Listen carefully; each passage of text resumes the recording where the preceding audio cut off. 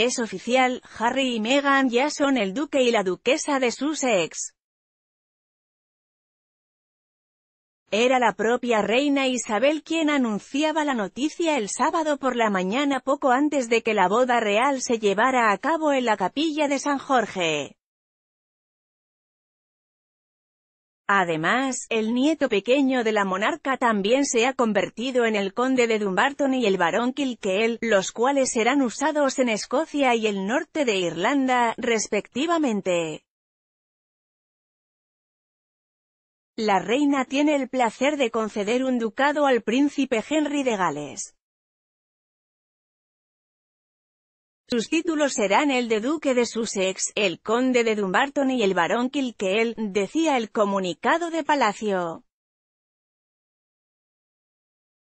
En los meses anteriores a la gran boda, se había especulado que Sussex sería el ducado elegido por la reina para el que dicen es su nieto favorito y su ya esposa. La otra posibilidad que también se barajaba era la de convertirse en el duque de Clarence pero ganaron las apuestas que apuntaban al primero. El caso de Meghan, aunque está casada con un príncipe en toda regla, será comúnmente referida como duquesa de Sussex ya que su supuesto título de princesa no es oficial. Suscríbete a nuestro boletín La declaración oficial de títulos el día de una boda de esta envergadura es una tradición ya conocida en la familia real británica. Cuando el príncipe William y Kate Middleton se casaron también se convertían en los duques de Cambridge, tras su boda.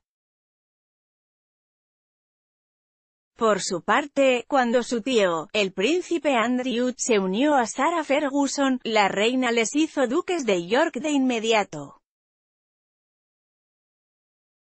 ¿Qué cambian estos títulos en sus vidas? En realidad ser duques les convierte en responsables de la imagen de este lugar, además de sus embajadores en cualquier evento o celebración a la que acudan. Los recién casados los han aceptados felices y dispuestos a cumplir su cometido.